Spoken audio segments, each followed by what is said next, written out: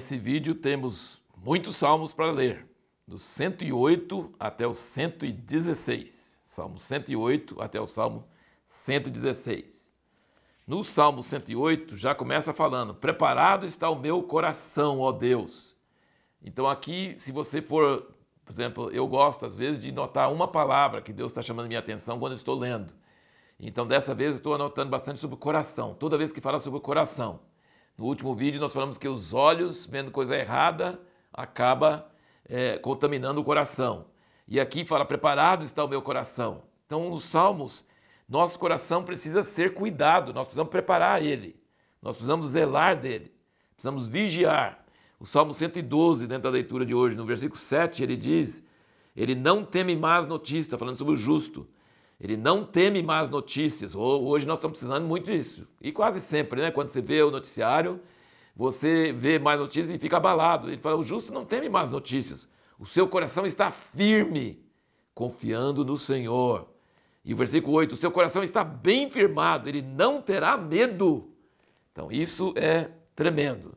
Salmo 116, é, no versículo 7, fala: Volta minha alma ao teu repouso, pois o Senhor te fez bem né? o, o coração ficando quieto diante de Deus.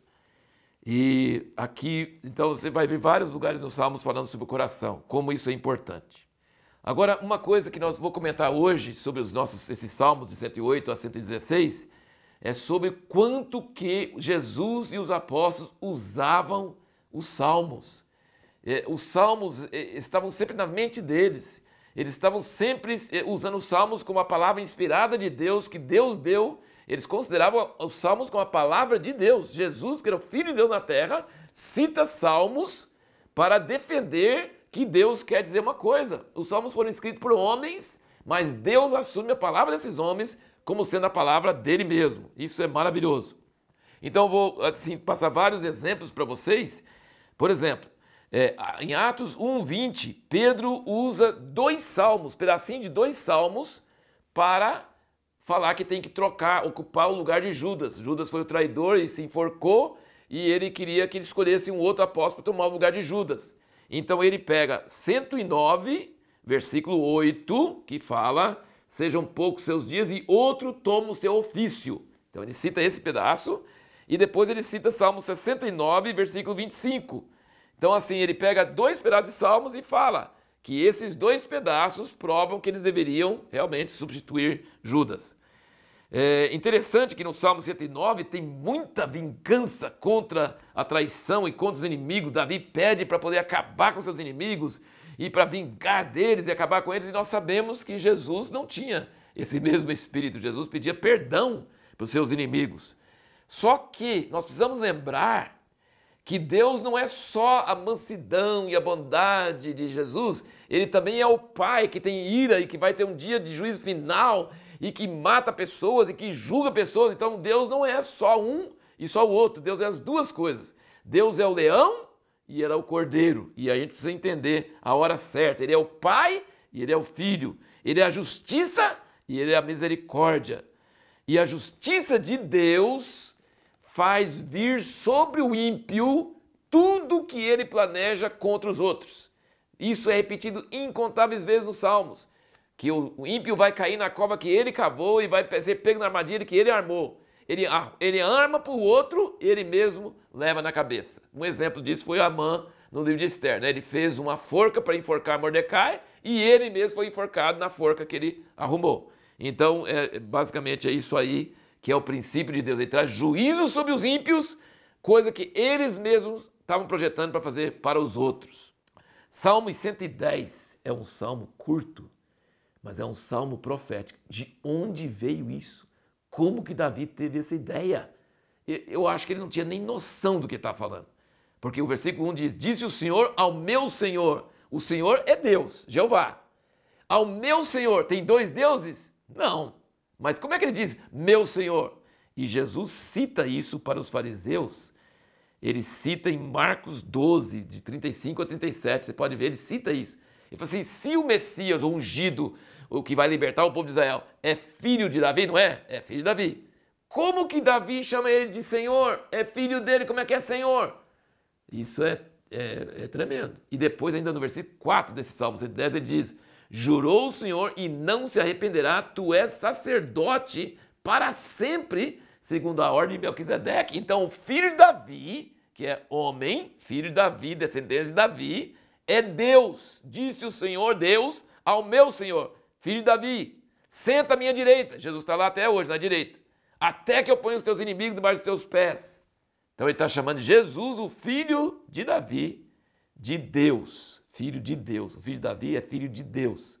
Depois ele diz que esse filho de Davi, que é filho de Deus, não é só rei, ele é sacerdote para sempre, que nunca vai morrer, que nunca vai ter outro. E isso você encontra em Hebreus 6, 27, 17 e 21. Você vai ver lá citando o Salmo que Jesus é um sacerdote segundo a ordem de Melquisedeque e baseado numa profecia que Davi colocou num salmo que foi cantado por mil anos até chegar nos dias de Jesus e até hoje nós temos essa profecia. Isso é demais. O Salmo 113 tem um versículo aqui que eu tenho história, porque teve uma pessoa que foi em Rubiataba, uma cidade onde eu morei no interior de Goiás, e ele era de Portland, Oregon, de uma igreja chamada Bible Temple. E era um rapaz. E ele pregou sobre essa, esse Salmo 113, versículos 5 e 6, que diz: Quem é semelhante ao Senhor nosso Deus, que tem o seu assento nas alturas, que se inclina para ver o que está no céu e na terra? Ele falou assim: Deus é muito alto, porque ele, ele é tão alto que ele se inclina para ver o que, que tem nos céus. E na terra, então, muito mais. Ele inclina, ele está muito mais alto que os mais altos céus. E eu nunca esqueci dessa palavra. Era um jovem estudante da escola bíblica dessa cidade. Anos depois, poucos anos atrás agora, eu encontrei esse mesmo rapaz em Israel, em Jerusalém. Ele mora no Japão, já é avô e ele lembrou dessa mensagem que ele pregou lá em Ubiataba quando ele era rapaz. Olha que coisa interessante. Então, assim, é muito alto nosso Deus. Ele se inclina para ver o que tem no céu e na terra. Ele é alto demais, mas ele se preocupa com o pobre. Aqui no versículo 7, levanta o pó o pobre, faz sentar com os príncipes, faz com que a mulher estéril habite em família. Deus é tão alto que se inclina para ver o que tem no céu, mas ele é tão pequenininho e tão perto que ele olha para o pobre, para o estéril, para a pessoa desprezada. Deus é demais. Sabe uma das coisas piores que acontece com alguém que está num campo de concentração? Eu já li muitas histórias de sobreviventes do Holocausto eles são tirados a roupa totalmente, raspada a cabeça, colocado todo um número, ele perde sua identidade. Ele se torna desprezível aos próprios olhos e muito mais aos olhos dos outros. Ele perde tudo, ele perde. Ele, ele não é mais humano. É uma coisa. Não dá nem para cogitar uma coisa dessa. Além do sofrimento físico e fome e todas aquelas barbaridades que sofriam, ainda tem mais essa. Só que Deus valoriza o miserável, aquele quando ele mesmo até se considera miserável, Deus não considera. Ele é tão alto, mas ele também se preocupa com o pobre, o desprezado, aquele que nós consideramos desprezível e às vezes nós mesmos consideramos desprezível, Deus não considera desprezível. Mais um exemplo aqui, 112, você pode olhar o Salmo 112, o versículo 9, fala sobre o justo e fala o quê? Espalhou Deus necessitados, a sua justiça subsiste para sempre. Você vai notar na Bíblia que justiça não é só fazer o que é certo. Justiça é ser generoso e dar aos pobres. Se você é justo, mas você não dá aos pobres, você não é justo, biblicamente falando. Você precisa ter compaixão e dar, e dar, generoso. Não é só ser justo, é generoso. E esse mesmo versículo é citado é, em 2 Coríntios 9, versículo 9. E respondendo então à pergunta do nosso último vídeo, o que acontece quando você adora, adora alguém ou alguma coisa? O Salmo 115 nos fala sobre isso. Ele fala sobre as imagens, né? As imagens que têm ouvidos, mas não ouvem, têm nariz, mas não cheiram, blá, blá, blá, blá, blá tudo isso. E versículo 8: Semelhante a eles sejam os que os fazem e todos os que neles confiam. Sabia disso? Se você adora alguma coisa ou alguém, você vai ficar parecido com ele. Então presta bem atenção. Né? Nós até usamos ídolos de cinema, ídolos do, do futebol, ídolos. O que você adora, você se torna. E a mesma coisa em relação a Deus. Ele diz aqui que Deus é compassivo e misericordioso e o justo se torna igual a ele. Então, o que acontece quando você adora alguma coisa ou alguém? Você corre o perigo de se tornar semelhante a ele. Se nós adoramos a Deus, vamos nos tornar semelhante a Deus. A pergunta que nós vamos responder no próximo vídeo, que vai ser muito sobre o Salmo 119, que é o capítulo mais comprido da Bíblia. Por que, que o Salmo 119 fala tanto sobre nossos caminhos